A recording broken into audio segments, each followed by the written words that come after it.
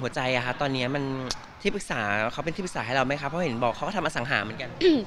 หาอะไรไม่มี มีอึ้มเลยอะไม่ใช่คือมันยังไม่ official เธอ หรอ ใช่ไม่ยังพูด ยังเรียกแฟนไม่ได้ มันไม่ official ไม่พูดละกัน ยังไม่ official หมายความว่าไม่ปรับประกาศหรือเก็บไว้เป็นเรื่องส่วนตัวเงียบๆ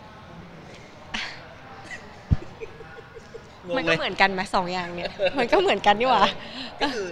รักครั้งนี้ไม่อยากจะเปิดเผยโจ่งแจ้งแล้ว ใช่ ทำไมครับเข็ดหรือยังไงครับ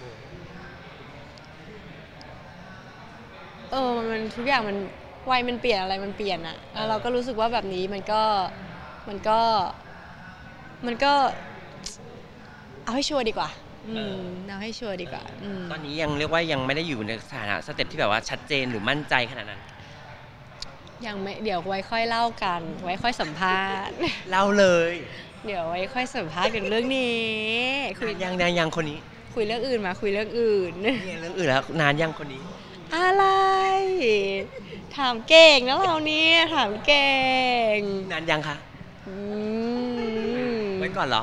ไว้ก่อนไว้ก่อนไม่ใช่อย่าอย่าเพิ่งเขียนข่าวว่าเป็นแฟนถูกไหม ไม่ต้องเขียนอะไรทั้งนั้นแหละ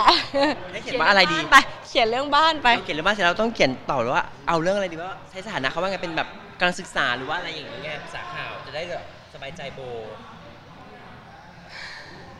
ถอนหายใจสถานะอะไรดีวะ ไม่รู้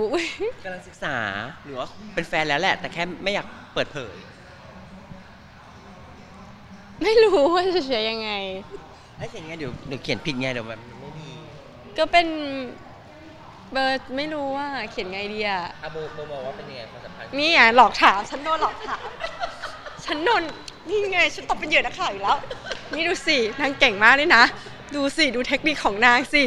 เนี่ยเทคนิคของนางในการหลอกล่อดาราเนี่ยเออไม่เราที่ว่าสบายใจไง ยังไงล่ะ แฟนเพื่อนที่สนิทคนที่ไว้ใจอืมคนที่บริสุทธิ์ใจต่อกันหรืออะไรยังไงยังไม่ต้องเรียกแฟนอะไรก็แล้วแต่เรา ไม่มีคำเรียกอะไม่มีคำนิยามเออ ตอนนี้ไม่มีคำเรียก อ่า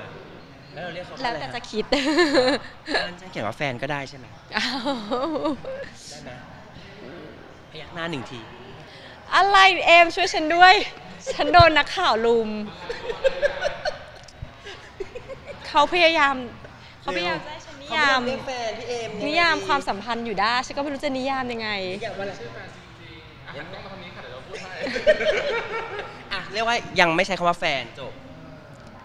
เอาอย่างนี้ไม่ต้องไม่ต้องเมนชั่นเรื่องแฟนอ่าก็เป็นคนที่กำลังศึกษาการนะแค่นี้ก็ได้อะจบจบโอ้ยเหนื่อย เหนื่อยไหมคะ แต่ว่าผู้จัดการเราไปแฉเราในรายการเหมือนกันว่าแบบว่าเราเนี่ยแบบทั้งแบบนักร้องเอยนักธุรกิจเอยแบบมาลุมจีบกันเต็มไปหมดช่วงที่ผ่านมาใช่ไหมอืมก็มีบ้างช่วงก่อนนู้นอืมแต่โบไม่ไม่เอาใครเลย พอลองลองศึกษาปุ๊บไม่โอเคเอออย่าใช้คำว่าไม่เอาใครเลยคืออย่างนี้ทุกวันทุกวันนี้คนพวกนั้นก็เป็นเพื่อนกัน เออคือเขาเรียกว่ามันไอการลองศึกษาบอกว่ามันมันเราถ้าเราโสดเราเราสามารถเปิดเปิดใจได้ไงอ่าว่าเออลองดูว่ามันจะโอเคไม่โอเคอะไรอย่างเงี้ยแต่สุดท้ายแล้วอะการที่ไม่โอเคไม่ได้หมายความว่าเขาไม่ดีอืมแต่เขาเรียกว่าความลงตัวกันมากกว่าอ่าฮะไลฟ์สไตล์ของเราวิธีคิดของเรา มันต้องไปด้วยกันได้อะเออเนื่องจากว่าพอเราพอเราลองได้มีโอกาสได้ลองศึกษาหลาย ๆ คนเนี่ยเราก็จะทำให้เราค้นหาตัวเองได้เจอว่าจริง ๆ แล้วอะฉันชอบแบบไหนที่ฉันที่ฉันอยู่แล้วมันโอเคสุดแล้วมันมันมันมันไม่ฝืนคือมันต้องเป็นอย่างโงอย่างเงี้ยสิ่งที่สำคัญข้อแรกเลยสินต้องเสมอกันอืมสำคัญมากเออคำว่าศีลของโบหลายคนอาจจะแบบอยากให้เราขยายความว่าศีลเสมอกันคือยังไงเออคือแบบต้องถือศีลต้องปฏิบัติธรรมหรือว่าอะไรยังไงเอาเอา มันมีเออสำหรับระดับโบแล้วกันนะสินเสมอกันหมายถึงว่าสินห้าข้อเนี่ยต้องรักษา ที่เราท่องสอบเนี่ยเออต้องรักษาให้ได้เออ คือต้องมีมีความจริงจังในการที่อยากจะรักษามันอาจจะบางครั้งผิดบ้างพล่องบ้าง อืม พลาดบ้าง แต่ถ้ามันอยู่บนพื้นฐานว่าเราพยายามที่จะตั้งใจรักษาบอกว่ามันก็โอเค เออคือต้องเป็นคนที่ให้ความสำคัญเออ กับกับเรื่องนี้อะไรอย่างเงี้ย อะอะอย่างเช่น สมมุติว่าเรา เอ่อเรา สินข้อ 3 สมมติเรื่องความซื่อสัตย์ต่อคู่อย่างเงี้ยอ่าฮะถ้าเราได้คนที่สินเสมอกันเราคือต่างฝ่ายต่างสบายใจไม่ต้องมีการกังวลเราแวะไม่มีเลย ถ้ามันแบบเขาก็ไว้ใจเราถึงแม้ว่าเราจะทำงานแบบนี้ ไปอยู่ในจุดที่สมเสี่ยง ไป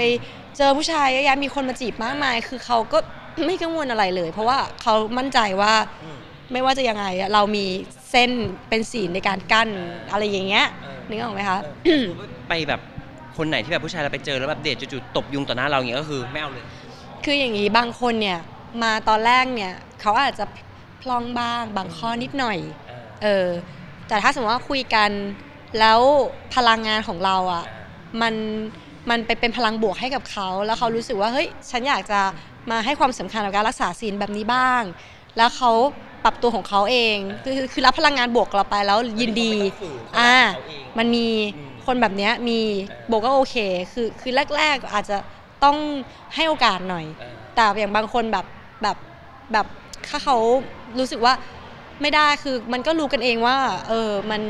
มันไม่ใช่ way อะไรอย่างเงี้ยเอออันนี้ของโบคือศีลเสมอกัน ส่วนอีกข้อถ้าจะดียิ่งไปกว่านั้น ถ้าปฏิบัติธรรมกับเราได้เนี่ย perfect มาก เป็นเพื่อนไปปฏิบัติธรรมของเราไปรูปถูกต้องขาวผมขาวอันนี้คือ perfect มากเออเออติดตามข่าวบันเทิง พี่นายตะเทนแชนแนลอย่าลืมกดสับตะไคร้กันด้วยนะ